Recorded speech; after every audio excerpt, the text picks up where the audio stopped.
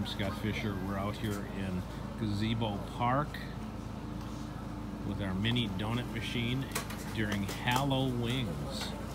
Look at these donuts coming right off the fryer.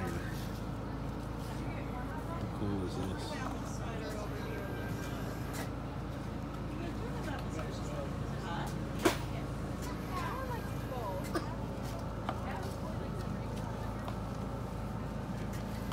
You're gonna like these donuts. Well, we came last night and smelled them and didn't have any, and so then we stopped by today especially to get these donuts. Oh, you were here earlier, weren't you?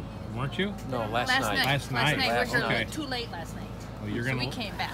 You better get a bunch. Mm-hmm. That's why we're getting the family pack. Excellent. Well, enjoy. Thank you so much.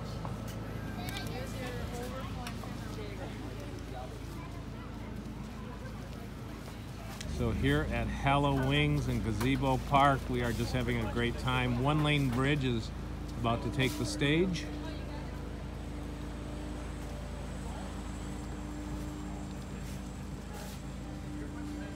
Started to sprinkle a little bit, but look at all these pumpkins. Oh my goodness.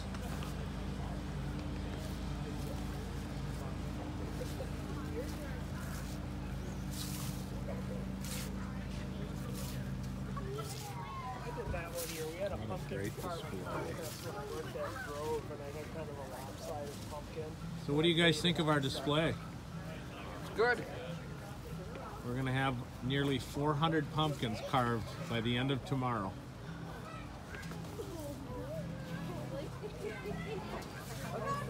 Look at this guy. Oh, and how about Alright, this Stella. one? Ooh, Stella, we are going to try a few One Lane Bridge is getting up there. I'm Scott. Fisher from Gift of Wings, and we're just having fun in. Gazebo Park at Halloween. Thanks to. Grand Haven LLC, the uh, Greendale Park and Rec, Gift of? Wings, of course, and all of our sponsors, Renewal by Andersen, Leaf Filter, U.S. Cellular, Mad City Windows and Bath, and EverDry Waterproofing. Thanks to all of them coming out today and this weekend